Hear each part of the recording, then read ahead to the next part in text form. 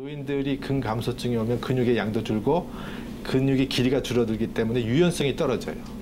그래서 다 구부정해지고 다리도 자꾸 쭉 펴지 못하고 이렇게 구부러지는 현상이 나오는데 아, 근감소증 환자들한테는 근력, 근력 운동도 중요하고요. 그다음에 스트레칭을 해서 근육의 길이가 줄어들지 않게 하는 것도 중요합니다.